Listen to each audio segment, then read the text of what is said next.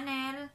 And if you are new in my YouTube, please give a thumbs up or like on my YouTube.